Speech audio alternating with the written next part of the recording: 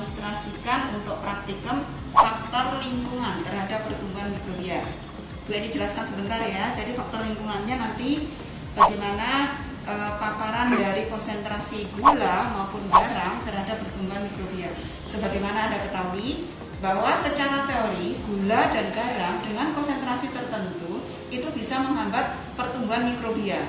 Namun jenis mikrobia juga akan mempengaruhi seberapa besar pertumbuhannya.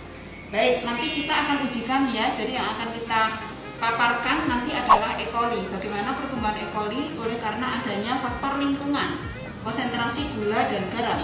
Yang akan kita praktekkan itu nanti untuk konsentrasi gula itu berbeda-beda, konsentrasi garam berbeda-beda ya. Jadi ini e, glukosa ya, glukosanya 0,4 persen, kemudian 4 persen, kemudian 40 persen, kemudian untuk garam NaCl itu 0,3 persen, 3 persen, kemudian 30 persen ya. Dan jadi jumlah konsentrasi ini nanti bagaimana pertumbuhannya itu apakah subur atau tidak dengan metode strict plate. Ingat ya, strict itu digores, digores. Baik, jadi ini ada uh, 6 ya 6 konsentrasi suatu larutan kemudian yang mempengaruhi lingkungan itu tidak hanya konsentrasi namun waktu juga akan mempengaruhi. Oleh karena itu nanti dipaparkan waktu 0 jam setengah jam kemudian satu jam ya. Baik yang pertama nanti dibuat juring dulu ya. Juring ini diberi kode untuk satu jam ke 0 jam. Ya ini diberi kode 0 jam dulu. 0 J ya jadi tidak apa-apa ini ditaruh di bagian sini ya. Tidak apa-apa. Ini 0 jam. Kemudian ini setengah jam.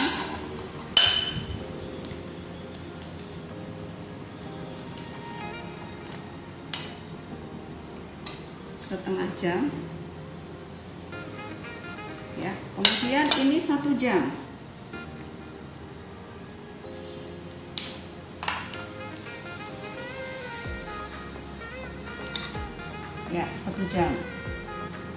ya. Jadi ini adalah nutrien agar yang sudah padat ya. Ini tidak usah menunggu plate karena kita metodenya dengan strict ya dengan strict plate. Jadi semua masing-masing nanti dibagi menjadi enam bagian.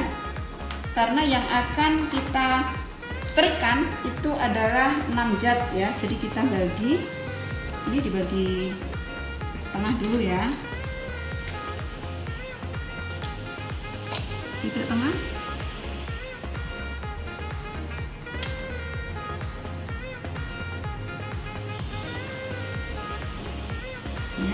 kemudian dibagi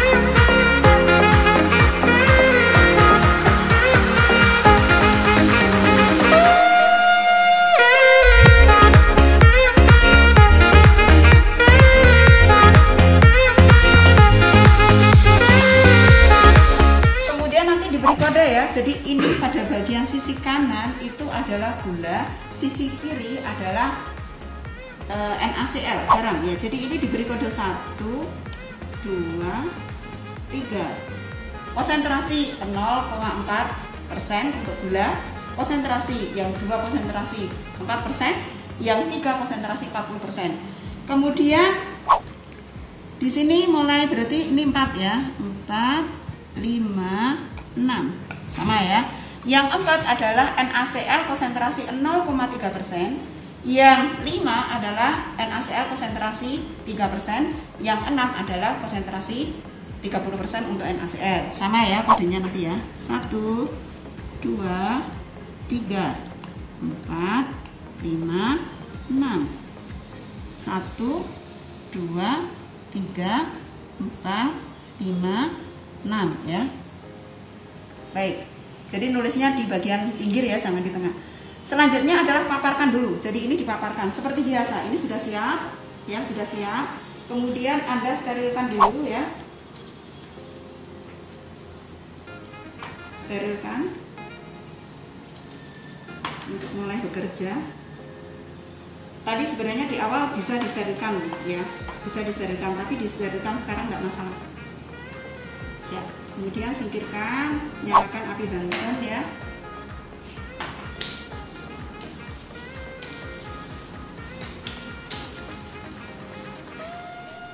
nyalakan api Bunsen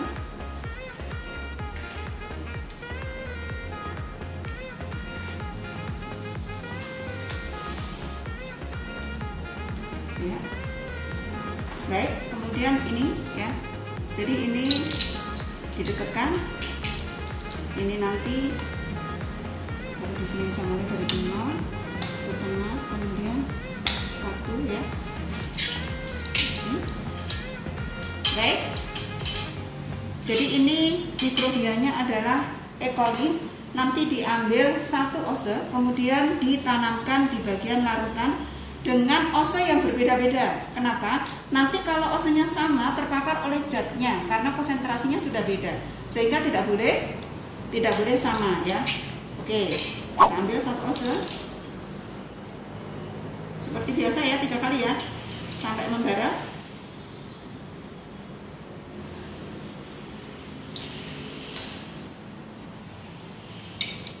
Ya, oke, ini yang ketiga ya tunggu kemudian ambil ya ambil satu ose ya redamkan dulu di bagian sisi media. Redamkan dulu. Ambil ya sedikit saja. Oke sudah. Kemudian bakar kembali. Ya.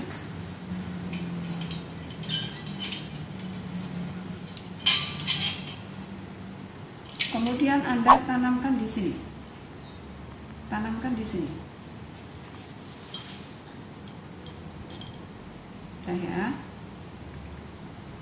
Bakar dulu. Ya, kemudian tutup. Ini sudah tadi ya.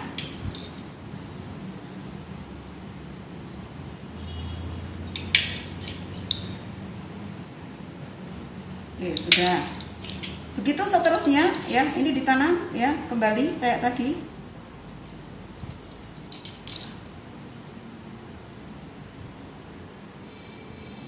ya. Yang ketiga.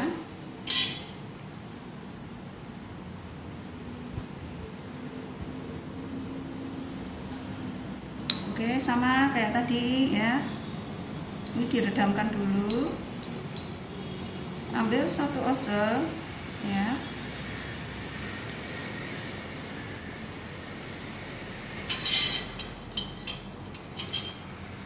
Kemudian tanam jadi mulainya dari NaCl ya. Tanam.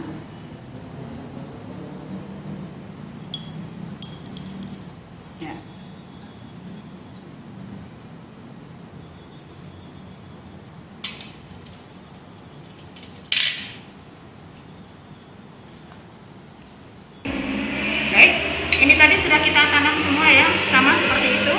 Kemudian mikrobianya biar terpapar dulu yang konsentrasi yang waktu paparan 0 jam langsung kita tanam ya langsung kita tanam tadi 0 jam ya ini langsung kita tanam dibalik ya dibalik biar tahu konsentrasinya baik tadi yang sisi yang sisi kanan adalah gula yang sisi kiri adalah NaCl ya. Jadi mulai dari gula dulu.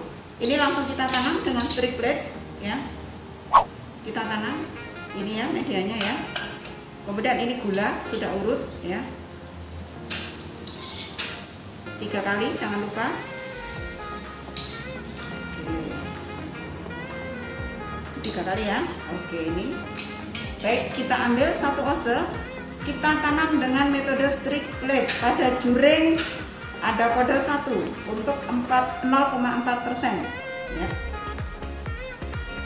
oke ya ini seperti biasa anda redam dulu panasnya. Ambil sisi yang lain ya. Cukup dicelup saja ya. Oke kemudian tutup kembali secara aseptis. Ya ini sudah. Kemudian anda setrika di kode satu. Ya ini kode satu. Ya setrika dengan cara membuat siksak di bagian juringnya dari pangkal ya. Sudah.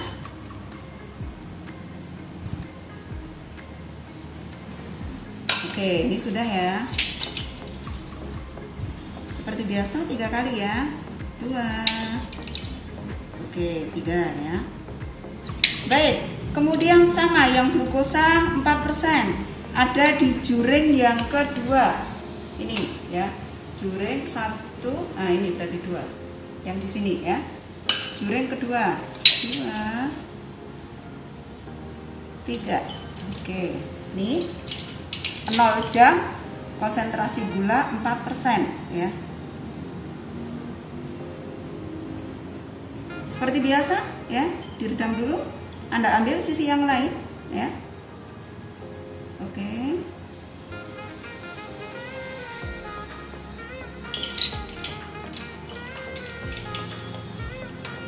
Anda tanamkan di bagian dua tadi ya.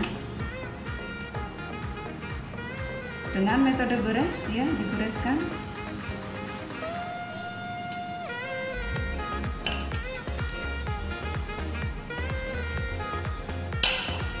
Baik, ini tadi sudah kita tanam semua, caranya persis sama seperti tadi ya. Kemudian ditutup untuk diinkubasi ya. Jadi ini sudah steril ya.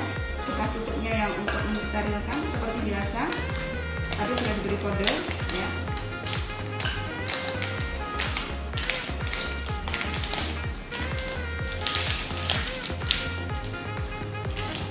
ditutup kemudian jangan lupa ini diberi kode 0 jam ya 0 jam 0 jam kemudian langsung diinkubasi ya inkubasi 2 kali 24 jam ini langsung diinkubasi di inkubator ya